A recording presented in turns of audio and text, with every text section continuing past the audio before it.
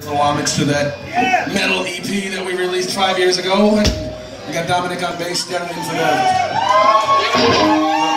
But, uh.